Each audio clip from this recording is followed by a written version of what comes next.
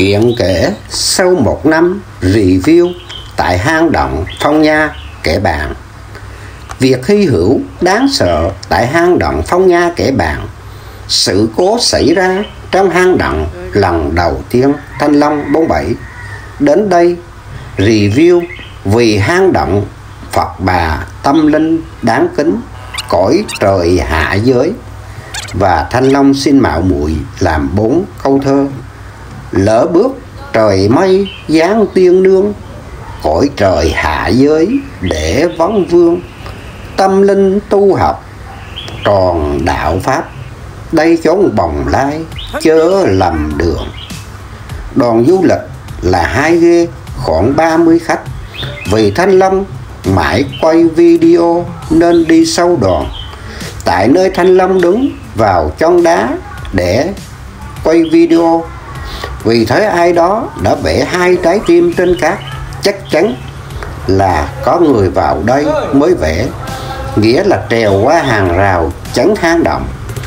Có tiếng bảo vệ là không cho trèo vào khu vực cấm để chụp hình. Thanh long chấp hành và trèo ra đang mãi mê say đắm cảnh đẹp hang động cộng với với cộng tác viên người bạn đồng hành mãi mê quay video. Thanh linh điện cấp không thấy gì cả. Thanh long đã kêu rất lâu không ai trả lời. Đoàn khách đã ra khỏi hang động. Khoảng 15 phút sau các bạn đã hình dung 2 giờ chiều ở trong hang động không thấy gì. Ngồi tiếng kêu cứu âm vang vọng lại.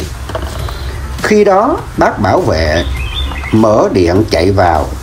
Nơi thanh long kêu cứu, bác bảo vệ nói, tưởng là khách đã ra hết mới cấp điện. Mình rất tôn trọng nơi tâm linh và chấp hành nội quy, nơi khu vực công cộng. Tại sao sự cố xảy ra? Bác bảo vệ đối xử với du khách như vậy. Vì có camera mới biết mình trèo qua rào cấm, quay video nay mình tâm sự nơi du lịch công cộng. Ban tổ chức nên tôn trọng khách du lịch có trách nhiệm với công việc mình xử lý với du khách đang còn trong hang động. Đây là hang động phong nha kẻ bàn tỉnh quảng bình việt nam. Mời các bạn đến dù chỉ một lần khung cảnh đá thạch nhũ đủ màu sắc hình ảnh kỳ bí tâm linh từ động Phong Nha đến động Thiên Đường khoảng 4 km. Đây là cảnh đẹp, hấp hồn và có tượng quán thế âm Bồ Tát. Nếu các bạn có đạo thì hình dung nơi này là chốn bồng lai tiên cảnh.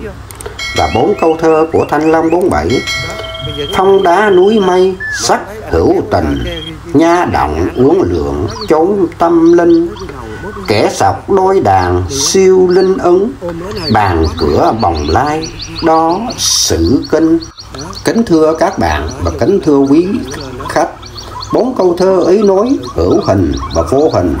Đây là nơi vô hình đang hiện hữu cõi người trần tộc mà chúng ta luôn thắc mắc có kiếp sau hay không. Xin các bạn một lời giải đáp và xin các bạn đăng ký kênh youtube Thanh Long 47 xem video chủ đề tâm linh du lịch.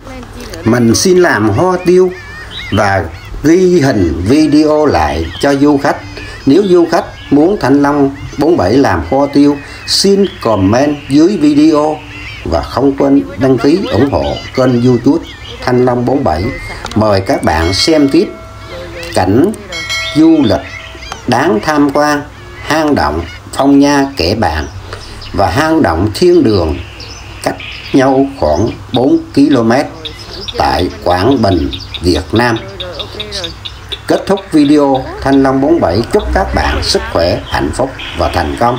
Đúng nơi đây là ban tổ chức không cho vào để mà quay video. Xin chúc các bạn sức khỏe, hạnh phúc. Xin đa tạ và cảm ơn. Ở đây trong này trong này trong này.